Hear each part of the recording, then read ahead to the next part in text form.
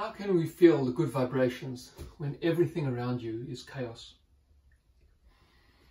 Every aspect of communication distills down to vibrations.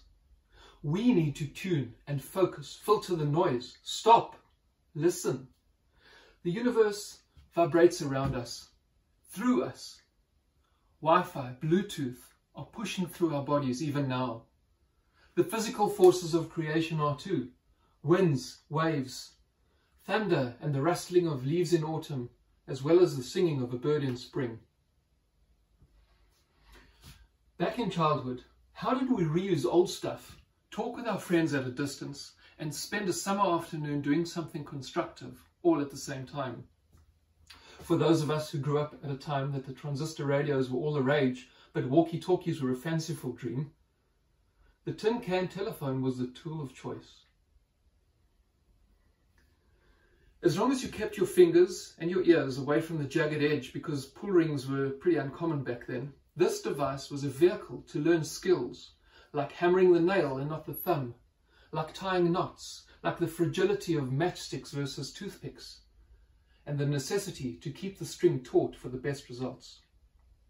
The way this works is that the sound made by talking into one tin can makes the base vibrate, and that vibration passes along the string, which is pulled microscopically, and that in turn vibrates the base of the second vessel.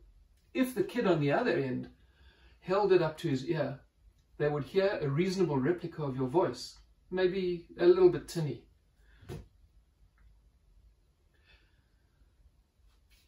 To get this really right, you had to take turns in listening and speaking. What a novel idea, but a great skill. You also learned pretty fast to moderate your voice so that your friend only hears what comes through the system and not the overflow sound that would come to him if you just shouted. No one ever had a piece of string long enough to eliminate that possibility. How awesome it was when it worked. The joy was partly in the assembly of the device, but mainly in mastery of voice modulation and attentive listening. I've done the tourist thing and visited a particular building in London that has a big white dome, inside of which is a circular bench it's called the Whispering Gallery.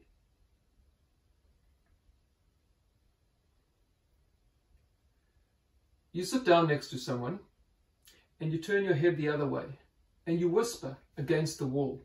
The sound will travel all the way around the beautifully smooth, acoustically perfect gallery to be heard in the opposite ear of your neighbor.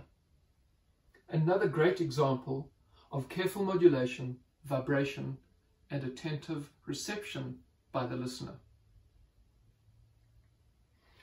Whether it's sound vibrations or the dancing of photons of light or heat of warm air on your skin, the sensory input from the world around us is some kind of vibration or another. You know that feeling when you walk into a room and you feel things are really groovy, or God forbid, maybe not quite right. You know, you, you just get the vibe. In that way, this sensation is the same, but higher than that of just hearing a sound. Your mind, heart and body are detecting signals that are emanating from the characters in the room. And from this example, you can appreciate that you can feel more than you can hear.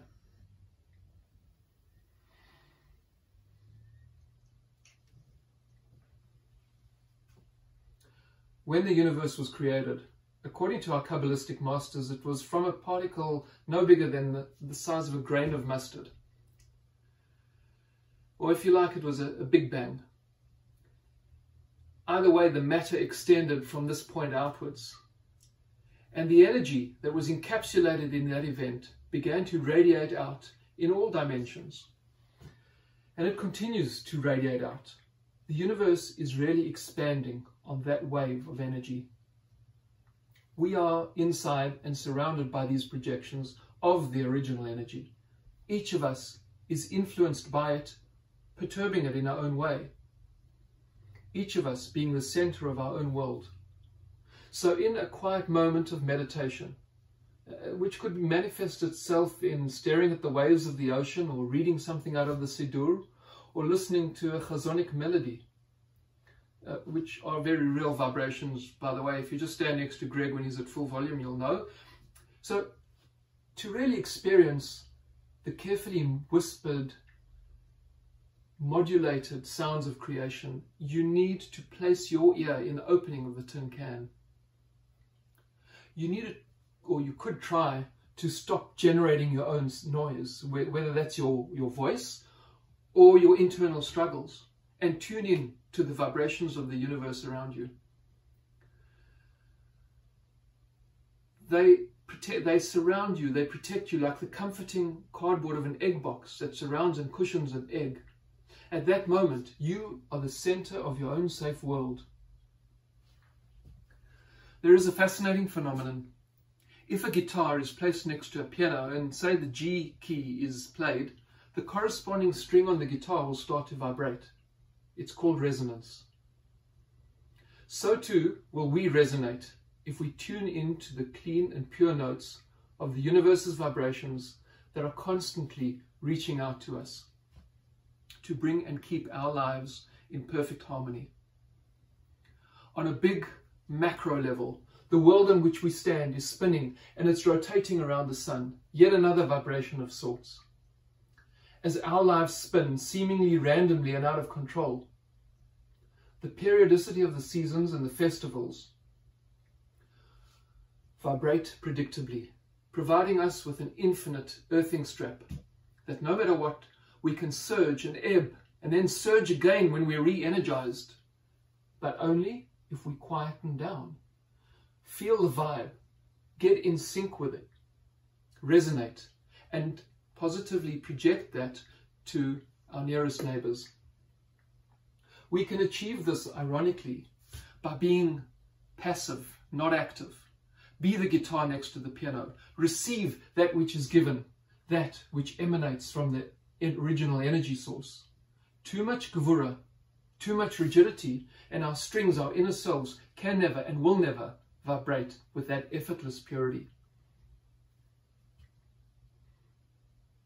To gain the most, I believe, is when we just allow. But to allow, we must be aware. We need to revert to that childhood moment with the tin can telephone and give a chance for the vibrating signal to go along the string and to listen, which is, of course, the more passive role. Let the talker talk and let your soul sing with the success of the entire enterprise of creation as the vibrations fill, enrich, and renew you. Chag Shavuot Sameach.